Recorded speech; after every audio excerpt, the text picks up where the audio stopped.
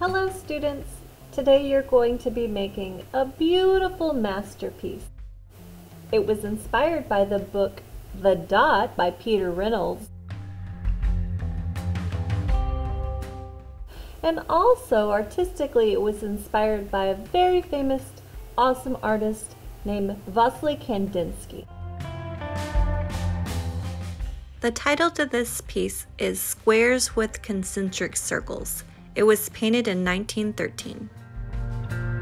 Today you will need paper, pencil, paint, water, and a plate to trace.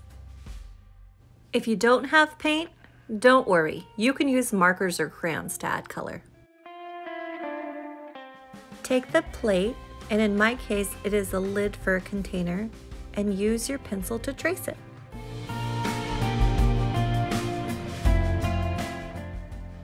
We are going to use this circle as a guide for additional circles that will be inside of it.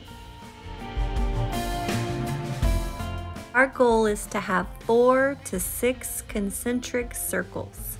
You can see that the last circle that I had was created freehand.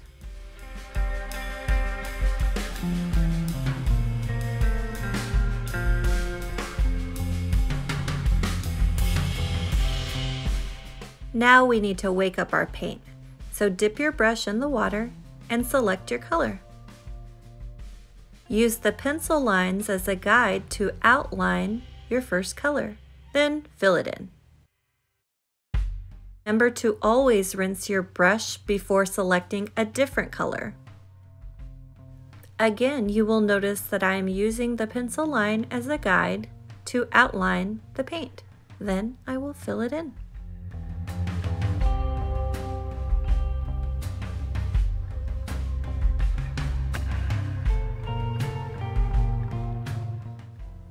I'm gonna rinse, rinse, rinse my brush.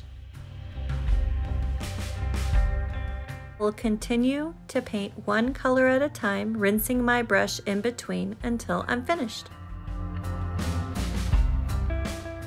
You will notice when you have two parts of paint that are wet, sometimes it will blend together. In this case, I call it a beautiful mess.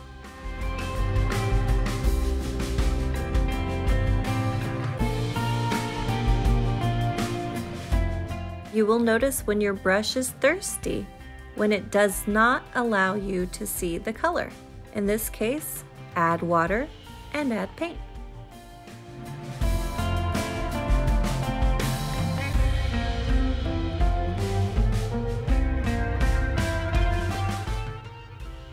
I'm gonna rinse, rinse, rinse my brush.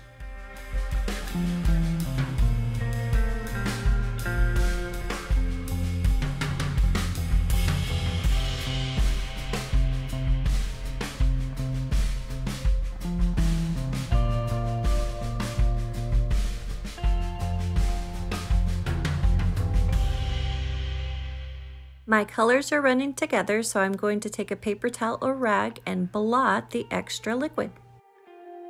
This is my finished piece. The next step would be to let it dry and then cut on the outline of the circle. Don't forget to submit your work for credit.